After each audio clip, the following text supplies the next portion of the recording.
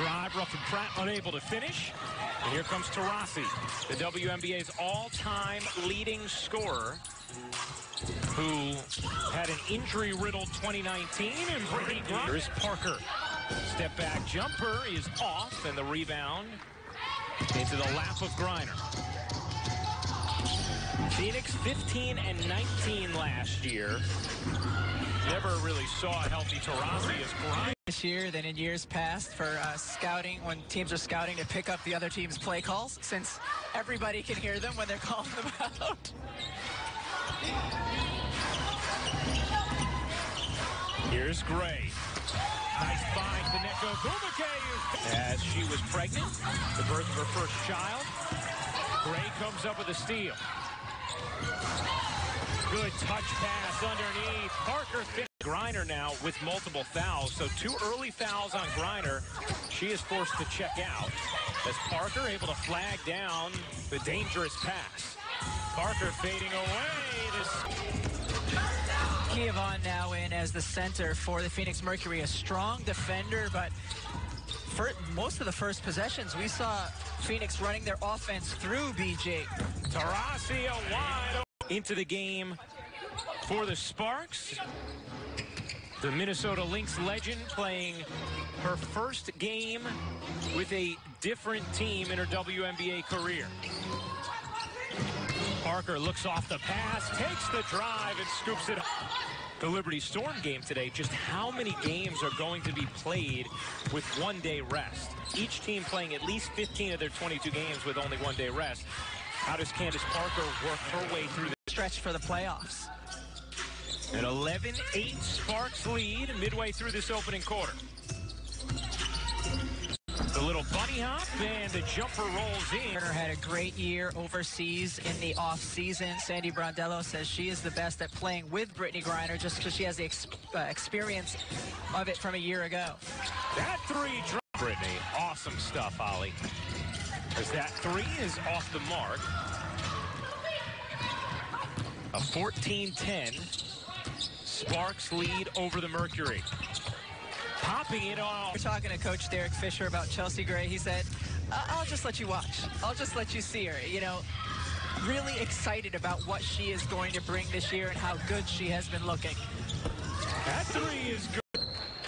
Te'a Cooper in for L.A. Bria Hartley in for Phoenix. That jumper is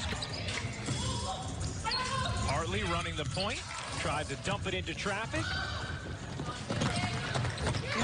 On the break, what athleticism the they're playing music, but you can hear the sounds of the games from the squeak of the shoes to the conversations. I mean, you can hear everything every player on the court is saying right now, including what the players on the bench are yelling back to their teammates. So it really is the beauty. Mike Krzyzewski told me once, we're getting to hear that music in one of the most special ways right now during this unusual time.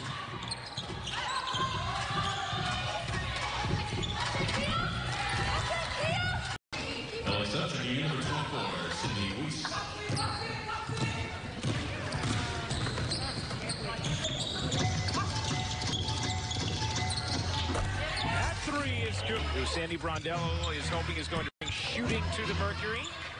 Able to connect on that attempt. A two-point Sparks lead. Two for one opportunity here for Phoenix. Nice delivery and on the roll. Her comments as well to Breonna Taylor. And in case you missed the beginning of the game, these teams held a 26-second moment of remembrance. Skylar Diggins Smith says she hopes that Breonna Taylor's family is proud today. And I can tell you, I spoke with her mother earlier today. Tamika Palmer is watching the games today. She was so gracious with her time, and she is proud. She said, I felt so... way of action in their fight for social justice.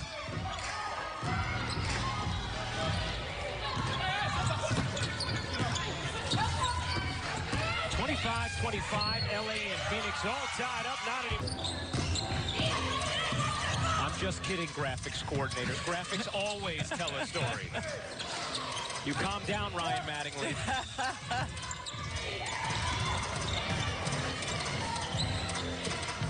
Phoenix with time here. Six to shoot. Taurasi looking to set herself up. The runner is good. That three is off the mark.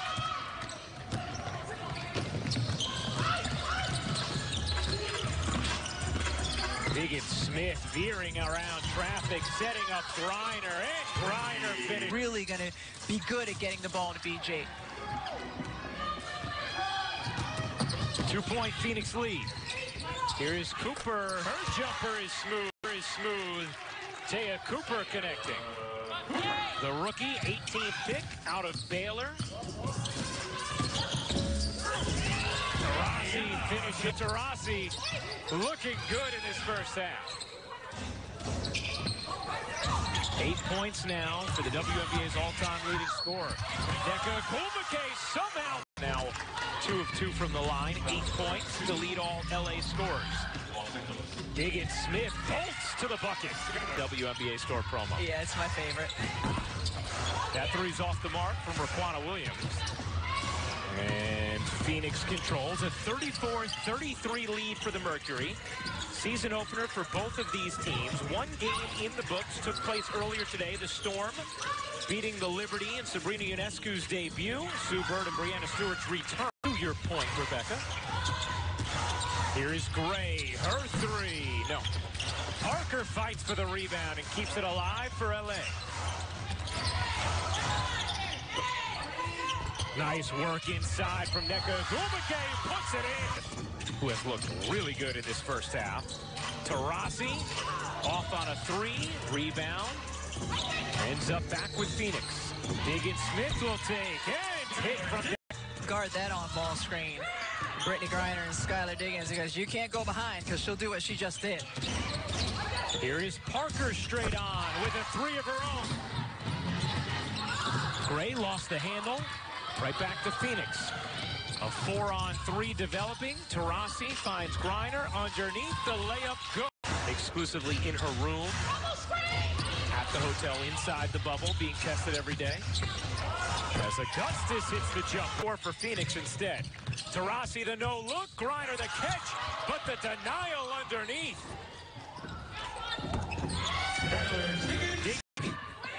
We did. Brittney Sykes is 5'9", and she blocked BG. Five nine.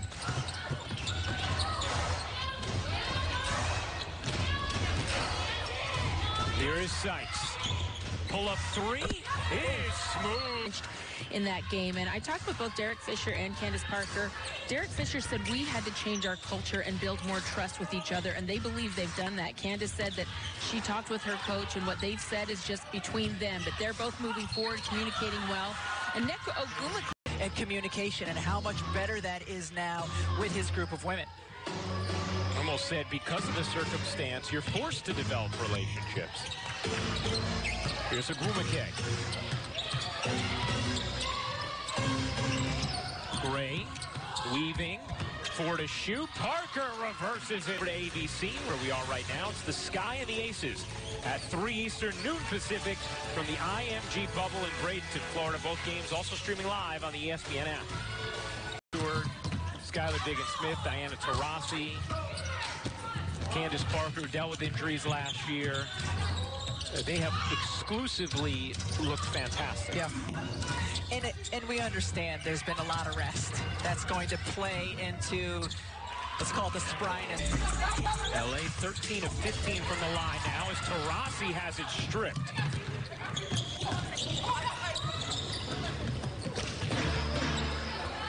Gray looking to go baseline around Diggins Smith. Up, under, and in. Move to 2021 along with all of the new inductees that you will see in the year to come. And we also want to say congratulations when it comes to the bubble, and she's been making things for everybody. I think it's a real talent, and you know everybody wanted to know the one essential thing you bring into the bu- bubble. I think it's great that hers was the bedazzler. Thank you, Rashonda Gray. I'm loving my mask. I feel like brought up, well, you know, we can get packages inside the bubble. so that's good.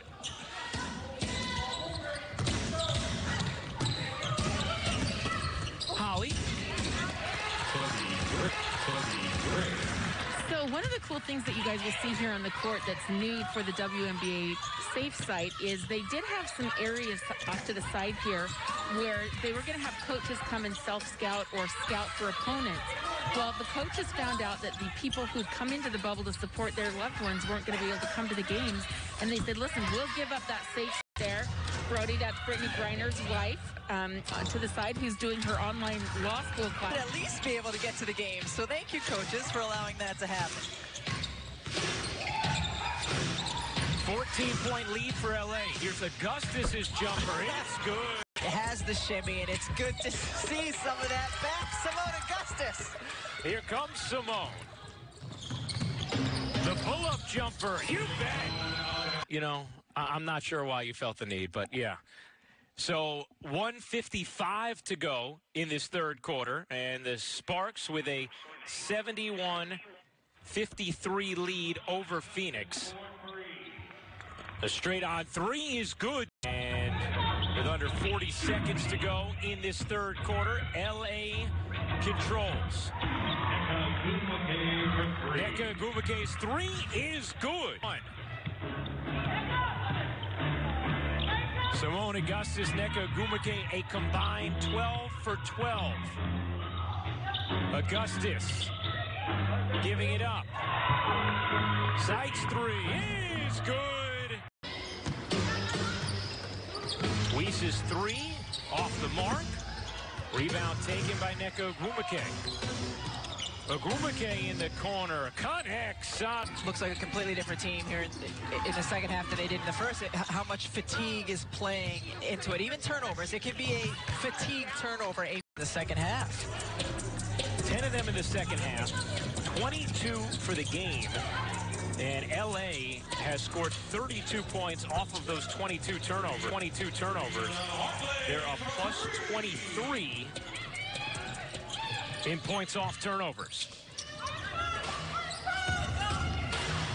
Te'a Cooper will take and hit from another contest on national TV on CBS Sports Network. The Fever and the Mystics. So much WNBA action coming your way over these next few weeks. Vintage Diana Taurasi that season. Last year just never quite got over the recovery from her back surgery as Taurasi scoops it in. If she can top that today, Seimone Augustus also flirting with it. 6.05 to go in this fourth quarter. A 23-point LA lead as Nneka banks it in. Well, now you just got to bring her to the bench and hold the record. Right. Diggin Smith three is good. Right spot for Phoenix in this game. 14.6 assists. Brittney Griner has been quiet for a while for the Mercury. She is off the floor right now. 22 turnovers from Phoenix. And make it 23. Here's Riquna Williams. Motoring to the free throw line. It has been a lot, but it is beautiful to see. And her return to the court today, not only is she perfect, her voice that has gotten us here to this point. How sharp the teams were and how well played this game was. Griner's jumper is good. Efficiency. Her MVP season, what she shoot, like 68 for, percent Yeah. for the season? It was ridiculous.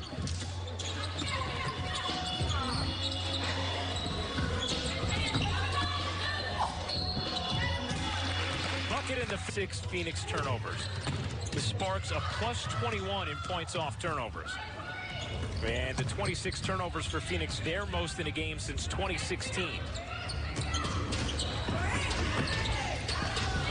Sophie Cunningham lays it no longer in doubt. The communication does not stop. No, it's the only way to be successful is to be constantly talking on the floor, in particular on the defensive end. On the drive, Ruffin Pratt unable to finish. And here comes Taurasi, the WNBA's all-time leading scorer, who had an injury-riddled 2019, and.